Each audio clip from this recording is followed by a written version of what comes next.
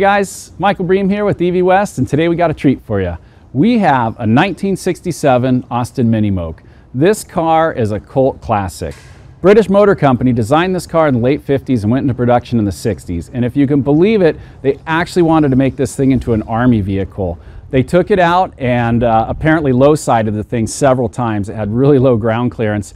And uh, they quickly made the decision to cancel the project and turn it into a civilian vehicle. And uh, this is what we're left with. Uh, they've made these, uh, they made them for about 10 years in the UK. They shifted production over to Australia, made them up until about 1981 in Australia, and then actually took production to Portugal, where it eventually ceased production in 1993. There's still a ton of these around. They're extremely popular in resort destinations uh, all over the Caribbean and, I mean, essentially all over the world. Uh, this one, um, like most of them, was painfully underpowered, had a little 800cc motor in it. So we did what we do best here at EV West. We put an electric motor in it, just full of torque, uh, just tons of power up the hills. Uh, you can just about spin the tires anywhere you want. And uh, we're going to take you for a little ride. We're going to show you the motor and just kind of give you a quick overview of what we did to this uh, fine little vehicle we got here. Uh, let's check it out. Okay, so here's a quick overview of our motor compartment. Up front here we have a little 10 cell pack. We have another 24 in the rear for a total of 34 cells. 11 kilowatt hours of energy, so it'll take this customer about 40 to 50 miles.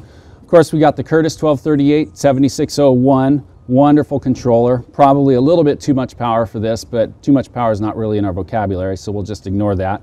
We got our water cooling kit over here, a little radiator down here, and of course we went direct drive in this, so we have a Graziano 10 to 1 differential reduction gear up front.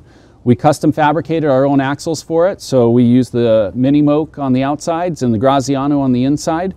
Uh, gives the customer the ability to change the differential. If this one wears out, we do have to use used parts for some of these vehicles, so it's always nice to be nice universal fit. And that's it. We cleaned up some of the stuff. We took out the hydraulic reservoir for the uh, clutch that was previously in here and um, just really simplified the engine compartment, made it a lot easier to get around in here.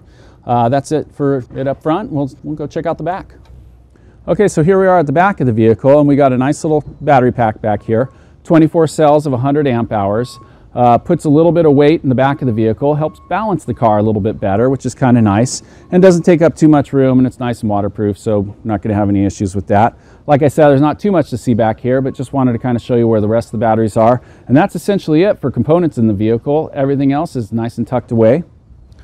All right, just the final thing here before we go and take it for a ride and have some fun. This is our charge port. It's formerly where the uh, gas tank was before, and we really like to take advantage of stuff that's existing on the car. So of course, inside here we put our little plug for the customer to go ahead and charge it up. And then underneath where the gas tank formerly was, we have our charger and our contactor boxes. So a lot of, the, a lot of the electronics are uh, nice and tucked away and hidden uh, out of sight where they should be.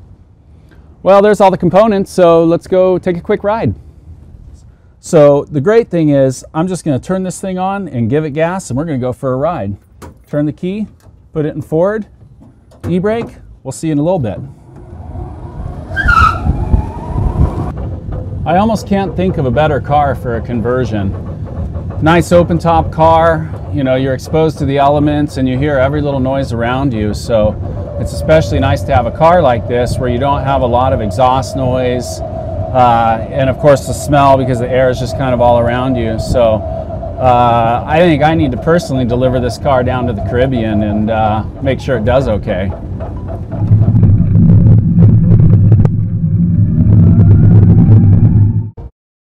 One of the best things about these are just the acceleration. This thing is, uh, for a Moke, it's just blistering fast. I mean, it just goes uh, at just about any time you can spin the wheels. I mean, just incredible. Lots of torque, very light, it feels very nimble. It's got a real nice low center of gravity in it. And uh, I just I just want to keep putting miles on this car. Just absolutely love it. It's got a nice little horn too. It's been the uh, the joke of the shop. Everybody, everybody's got to honk the horn.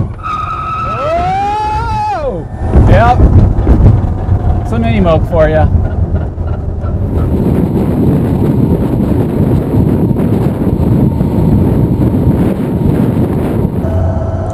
So another neat thing is we can program this for just about any power level.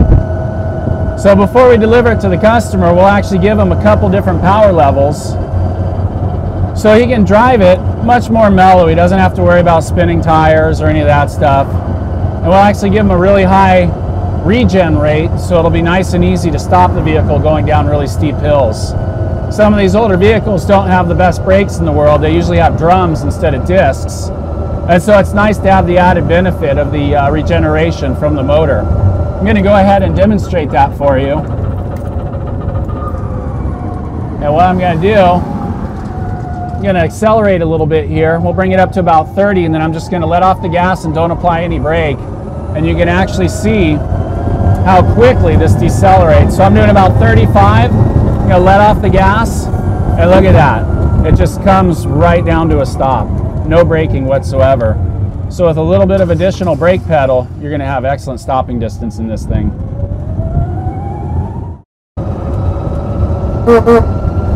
People love the Moke.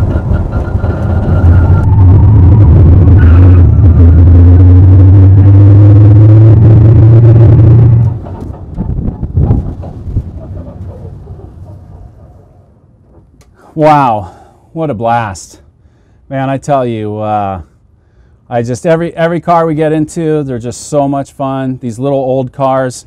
I think we owe it to basically all the classic cars to convert them and just keep them on the road. And uh, uh, really, it's all about just the fun of driving. If you can keep a car super fun to drive, uh, I think they'll stay on the road for literally decades to come.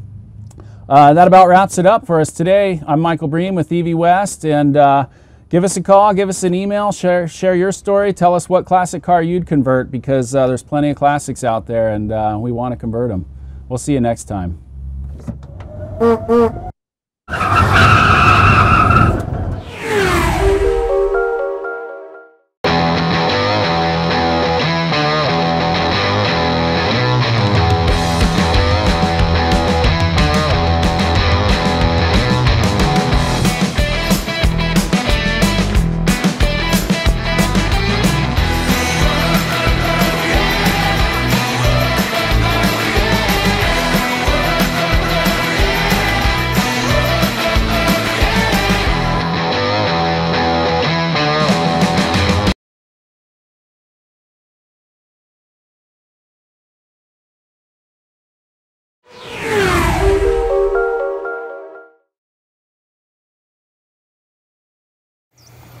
Hi, this is Michael Bream with EV West, and today we got a quick tip for you. We get a lot of inquiries from our customers asking uh, little questions and how to make the installation easier, so we're going to start a little series and share some tips with you.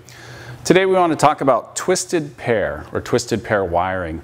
This is a technique that, believe it or not, was discovered by Alexander Graham Bell, like way back in the day. And he discovered that you can cancel out electromagnetic interference by twisting two pairs of wire together. And uh, we use this type of wiring for uh, measuring the current across the shunt in our state of charge meters. So what I wanted to do today is just show you a really quick method of creating twisted pair wire for yourself. And uh, this is the type of stuff that you see, you even find it uh, as factory wiring in vehicles. And walk a little closer so you can see it. It's nice, nice braided wire. Uh, it gives you a real nice look. So if you're installing our Link Pro or uh, Xantrex, anything connected to a shunt, we recommend this type of wiring be used on all shunt applications. So what we do is we just measure out the course of the wire that we need. We add about 20, 25% to that length because when you twist the wire, it's going to shorten it up. So you're going to go ahead, cut two pairs of wire. We use, you know, 18 gauge wire on most of this stuff. And just go ahead and cut equal lengths take your two pieces and put them in a vise. I'm just going to use our mill vise because it's right here and it's nice and easy. So I'm just going to stick this in the end here and clamp it down. I'm going to stretch this out. I'm just going to use a cordless drill. You could use a corded one, either way. Get your two strips, and we're just going to put it in the chuck. I'm going to hold it with my hand and tighten it down. Now when I go ahead and tighten this, I want to put constant pressure on this. If I do it loose like this, it'll get all tangled up. We don't want that. So I'm going to pull back, put a little bit of constant pressure on it, and twist it up. Once it becomes nice and tight, I'm going to run it a little bit further and then back it off, all while maintaining pressure on the drill. And what that does is it kind of sets it so it doesn't want to unravel. Go a little bit further pull back, put it in reverse, loosen it a little, and then undo the, the chuck. And there we have our twisted pair, and you're going to have a nice clean signal for your current sensor that comes off of your shunt.